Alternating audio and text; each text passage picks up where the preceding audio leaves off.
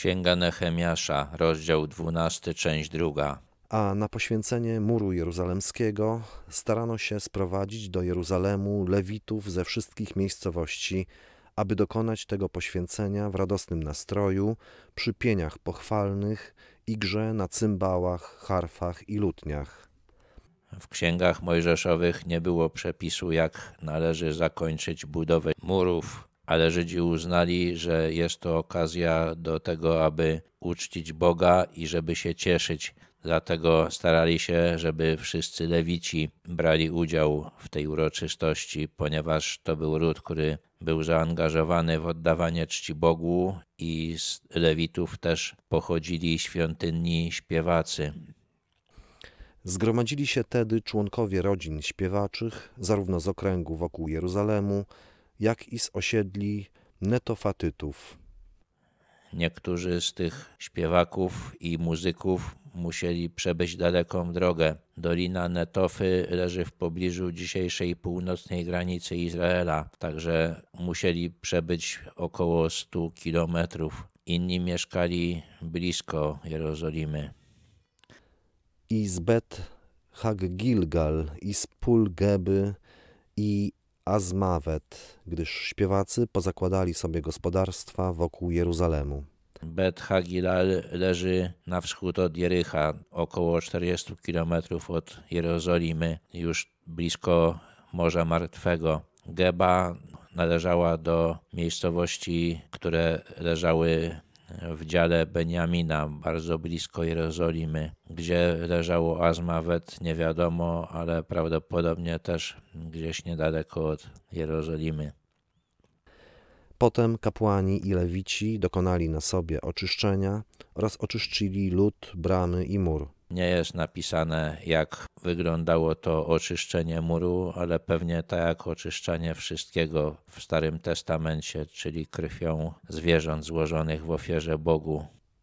Następnie kazałem książętom judzkim wstąpić na mur i ustawiłem dwa zespoły śpiewacze do pień dziękczynnych. Z nich jeden pociągnął w procesji w prawo po murze do bramy śmietnisk. Potem odbyło się uroczyste przejście po murze. Przechodzili przywódcy narodu oraz śpiewacy. Za nimi zaś poszedł Hoszajasz z połową książąt judzkich oraz Azariasz, Ezdrasz i Meszullam, Juda, Mijamin, Szemajasz i Jeremiasz. Jeden z tych zespołów poszedł w kierunku bramy śmietnisk.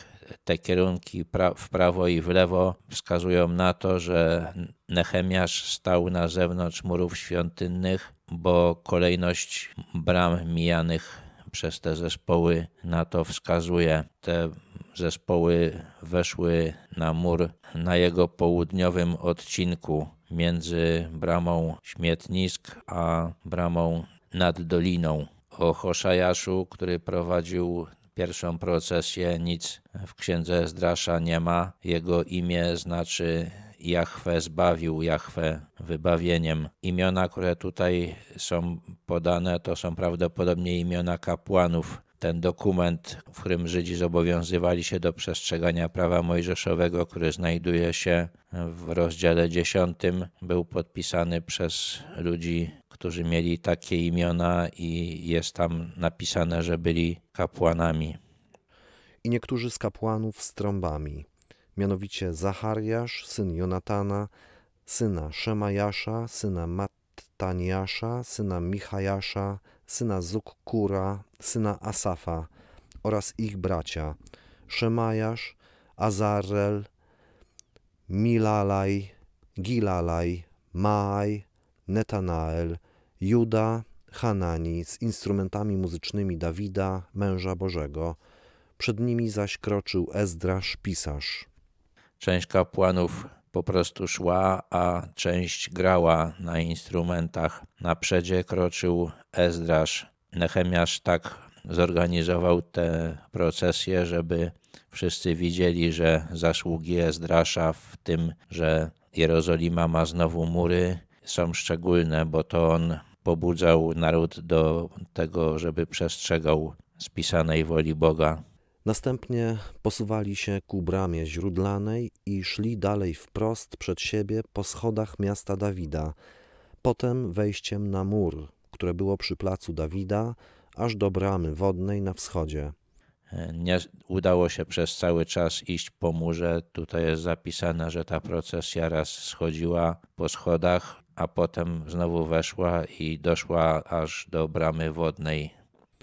Drugi zespół śpiewaczy, za którym szedłem ja wraz z drugą połową książąt ludu, szedł w lewo wzdłuż muru obok baszty pieców aż do muru szerokiego i dalej obok bramy efraimskiej, mijając bramę staromiejską i bramę rybną oraz basztę Hananel i basztę Stu aż do bramy owczej, a zatrzymali się przy bramie więziennej. Druga procesja, w której brał też udział Ezdrasz, szła w drugą stronę. Jest pominięta brama nad doliną, pewnie weszli na mury. Dopiero po minięciu tej bramy jest też zapisane, że przez jakiś czas szli obok murów. Zatrzymali się przy bramie więziennej, czyli nie spotkali się z tą procesją, która szła w drugą stronę, bo pomiędzy bramą więzienną albo wartowni, a bramą wodną jest jeszcze złota brama, główne wejście wejście do świątyni. Oba zespoły śpiewacze stanęły przy domu Bożym oraz ja i połowa dostojników ze mną. Obie te procesje zatrzymały się blisko świątyni. Ezdrasz chciał, żeby właśnie tak było. Także kapłani Eliakim, Maasejasz, Miniamin, Michajasz, Elioenaj, Zachariasz, Hananiasz z trąbami i Maasejasz, Szemajasz, Eleazar, Uzzi, Johanan, Malkiasz, Elam, Ezer. Wtedy śpiewacy pod kierownictwem Izrachiasza zaintonowali pienia. Tutaj Nehemiasz wymienił kapłanów, którzy szli razem z nim w tej drugiej procesji i kiedy te zespoły doszły w wyznaczone miejsca w pobliżu świątyni, zaczęły śpiewać na chwałę Bogu. W tym dniu złożono liczne krwawe ofiary i radowano się, że Bóg sprawił im wielką radość. Również kobiety i dzieci radowały się, a radosne okrzyki z Jeruzalemu słychać było daleko. Te śpiewy wyrażały radość z tego, że Jerozolima znowu się odbudowuje i te ofiary też były przejawem wdzięczności dla Boga za to, że dał Żydom odbudować swoją stolicę. W tym dniu ustanowiono też mężów dla dozorowania składnic z zapasami pochodzącymi z darów, pierwocin, dziesięcin, aby w nich gromadzono z miejskich posiadłości udziały prawem ustalone dla kapłanów i dla lewitów. Judejczycy bowiem byli radzi kapłanom i lewitom pełniącym służbę. Oni pełnili służbę Bożą i służbę oczyszczenia, jak również śpiewacy i odźwierni, zgodnie z zarządzeniem Dawida i jego syna Salomona. Gdyż już dawno w czasach Dawida i Asafa byli ustanowieni kierownicy śpiewaków oraz pień pochwalnych i dziękczynnych dla Boga. A cały Izrael w czasach Zerubabela i w czasach Nehemiasza dawał codziennie śpiewakom i odźwiernym udziały, a lewitom poświęcone dary. Lewici zaś dawali poświęcone dary synom Aaronowym.